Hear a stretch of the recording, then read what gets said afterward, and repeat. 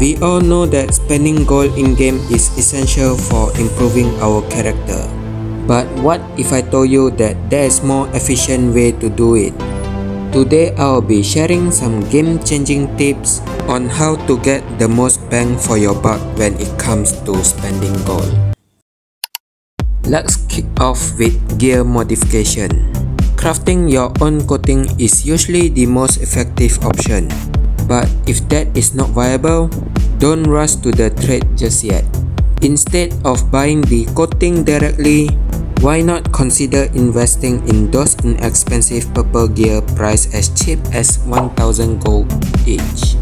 By dismantling them, you not only get 3 to 32 coating depending on what gear you dismantle, but you also earn silver in the process. Here I have summarized the total number of coatings you will get from each type of gears you dismantle. Take for instance, if you are aiming for single purpose stat which require 500 coatings, you will need to dismantle 32 main weapons which will cost you only 32,000 gold if you manage to find 1000 gold for each main weapon. And don't forget that 76,000 silver coin that you'll be getting for free.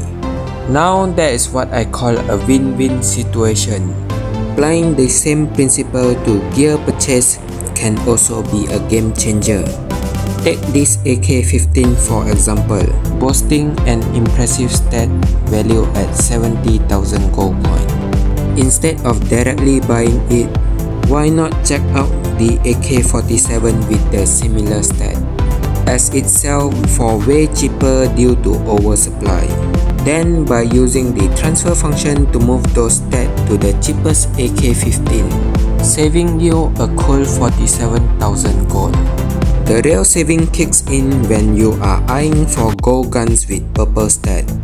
While many gold guns with this stat can cost millions, you can snag the cheapest gold gun and a purple stat purple gun for a combo of just 300,000 gold, saving you 50,000 gold for this SVD sniper rifle.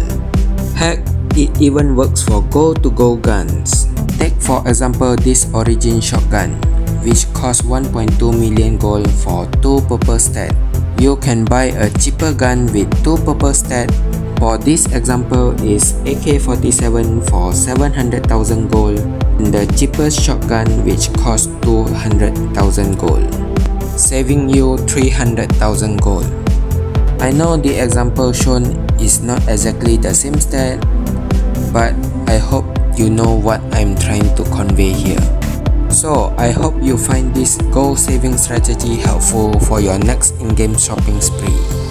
Since you are here with me till now, I'm going to tell you that this strategy works best when new homestead level is released as there will be an oversupply of gears as everyone is crafting for the new gear and you can easily get those gear for a cheaper price.